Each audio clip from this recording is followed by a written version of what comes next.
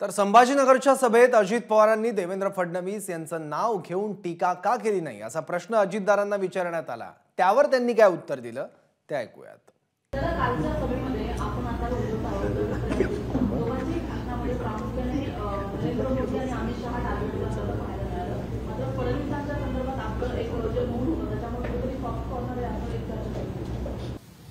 पुढच्या भाषणात देवेंद्र फडणवीसचं नाव घेऊन भाषण करतो. तुमची सूचना अजित पवारनी स्वीकारलेली आहे. त्याचे पडसाद उद्याच्या नागपूरच्या जाहीर सभेत मला जर चान्स बोलण्याचा मिळाला तर जरूर आपल्याला आणि ते त्यांचंच होम मैदान आहे.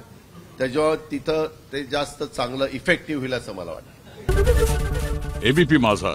उघडा डोळे बघा नीट.